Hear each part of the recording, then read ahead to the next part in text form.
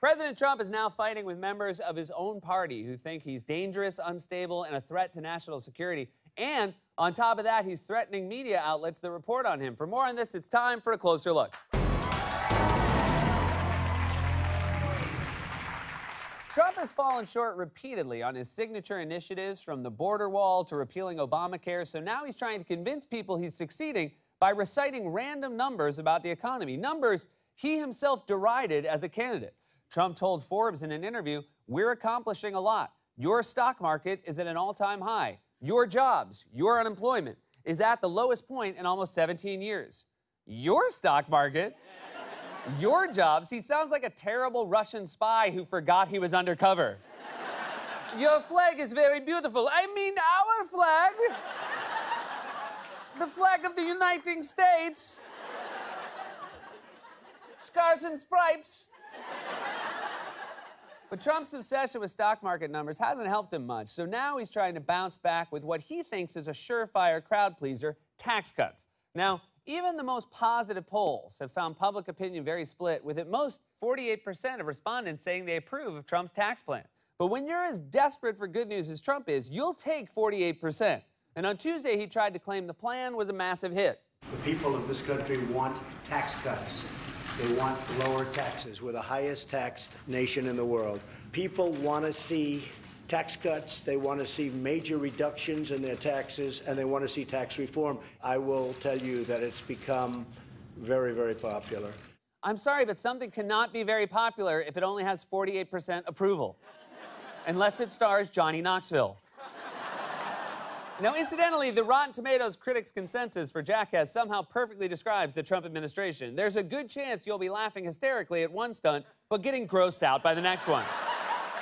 Now, now, you might have noticed in that clip that Trump repeated his lie that we are the highest taxed nation in the world, which isn't even close to true. The U.S. has a higher corporate tax rate than other countries, but when it comes to overall taxes, we rank 32nd. And overall is an important distinction, as in the stock market under Trump is doing well, but overall, we're still. a reporter tried to fact check Trump's highest tax nation claim with White House Press Secretary Sarah Huckabee Sanders on Tuesday, but predictably, got nowhere. The president repeated this claim in the Oval Office today, saying we're the highest tax nation in the world. Why does the president keep saying this? Uh, it's not true overall. We are the highest taxed uh, corporate tax in the uh, developed economy. That's a fact. But that's not what the president said. That's what he's. That's what he's talking about. We are the highest corporate taxed country in uh, the developed economies across the globe. Sarah, so that's that's accurate, but the president keeps repeating this claim that we're the highest tax nation. And that's what we are the highest tax corporate nation. That's that's not what he said. He said we're the highest tax nation in the world. The highest tax corporate nation. It seems pretty consistent to me. Trying to get the truth out of Sarah Huckabee Sanders is like trying to get blood from Mike Pence. you know his veins are just full of whiteout. But while he continues to push a tax cut plan that would disproportionately benefit the wealthy, Trump also continues to insist, despite reality, that he is providing voters what he repeatedly promised on the campaign trail great health care that would be much cheaper than what we currently have. On Tuesday, he claimed he was preparing a new executive order that would solve many of the problems in health care. And as has been the case so often before, he refused to provide any actual details. I'll also be signing something probably this week, which is going to go a long way to take care of many of the people that have been so badly hurt on health care. And they'll be able to buy, they'll be able to cross state lines, and they will get great competitive health care, and it will cost the United States nothing. When someone tells you their product will cost nothing, that's a good sign to steer clear. When you see a bucket that says free clams, you don't eat those clams. But while while Trump struggles to advance his domestic agenda, he's also been locked in a feud with members of his own party, in particular Tennessee Senator Bob Corker, a Republican, who warned on Sunday that Trump's reckless threats towards other countries could lead the nation on the path to World War III. Trump hit back at Corker yesterday, not with a cogent argument, but with a new nickname, tweeting, The failing New York Times set little Bob Corker up by recording his conversation, was made to sound a fool, and that's what I am dealing with. That's what I'm dealing with. Hey, man, you're the leader of the free world. Stop talking like a stressed out Burger King manager. I got two guys out today. I'm working the drive through myself. Plus, the mouse is back. So, yeah, that's what I'm dealing with.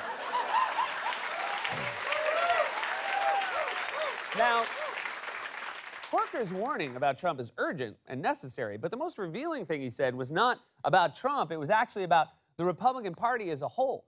Corker told the New York Times that the people around Trump, as well as his fellow Republican senators, know and agree that Trump is unfit for office. Corker told the Times, I know for a fact that every single day at the White House, it's a situation of trying to contain him. The vast majority of our caucus understands what we're dealing with here. Of course, they understand the volatility that we're dealing with and the tremendous amount of work that it takes by people around him to keep him in the middle of the road. That sounds less like he's talking about a president and more like the safety talk to the workers who got Kong into that Broadway theater. and of course, it's not just Corker who's questioned Trump's fitness for office. Last week it was reported that Secretary of State Rex Tillerson had privately called Trump a moron. And yesterday, Trump shot back in an interview. When asked about the Tillerson report, Trump said, I think it's fake news. But if he did that, I guess we'll have to compare IQ tests, and I can tell you who is going to win. Oh. That is a bummer, though, because the first question is who would win an IQ test, and the answer is Tillerson. In fact, I'm willing to bet any Rex would beat you in an IQ test, and most Rexes are dogs. and if you're wondering,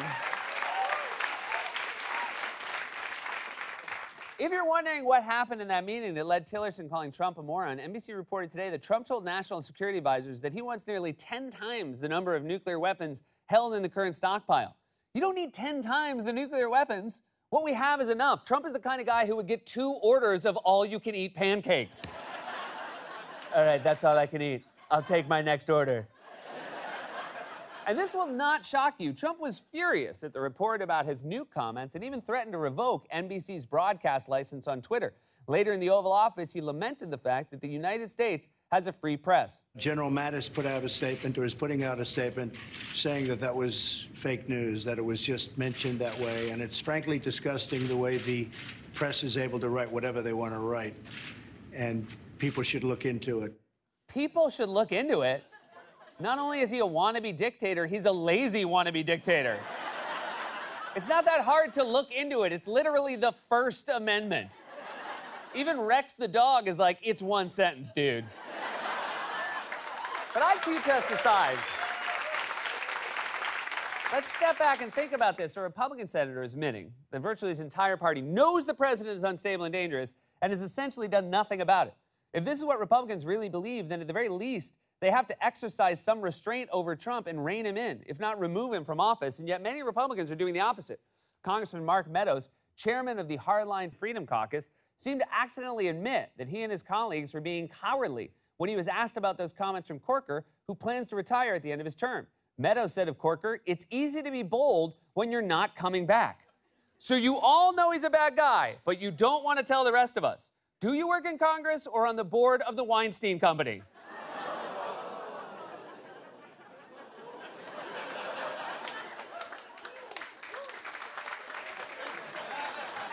Trump's White House, meanwhile, has been struggling to mount a convincing defense of Trump's behavior, and in particular his reckless threats towards North Korea. Sanders shot back at Corker, although I'm not sure her argument was all that persuasive. Senator Corker is certainly entitled to his own opinion, but he's not entitled to his own facts. Uh, the fact is, this president has been a, an incredibly strong leader on foreign policy and national security. That's not a fact, that's an opinion. You're entitled to your own opinions, but not your own dictionaries. If Republicans genuinely, genuinely believe that the president is unstable and dangerous, then giving interviews isn't enough. They have to actually do something about it by exercising some oversight or removing him from office. And if you don't know how that works, people should look into it. This has been a closer look.